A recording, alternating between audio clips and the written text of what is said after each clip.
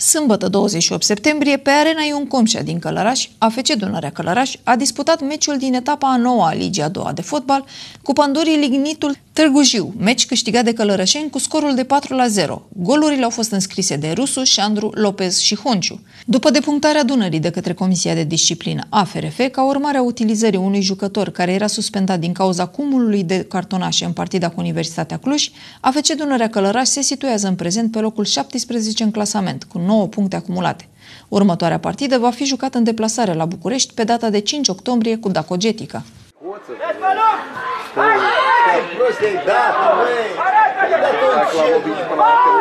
Ce faul, domnule? Haide!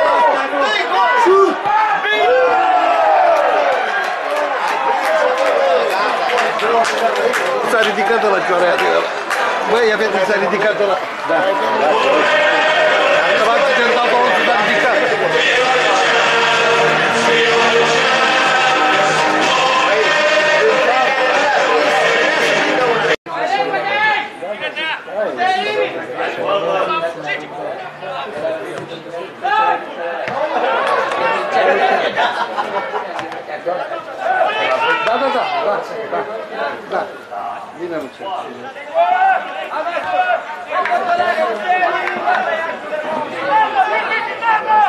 Așa, mă.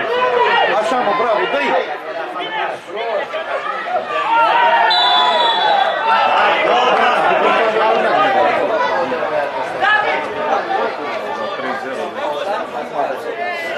Să dea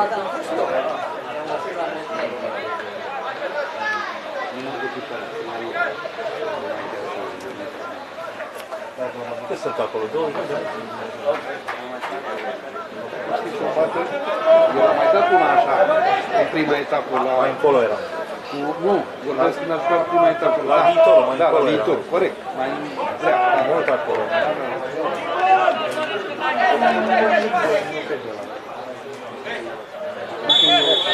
că dacă dai gol te speli de toate păcatele. Bravo, Ziche!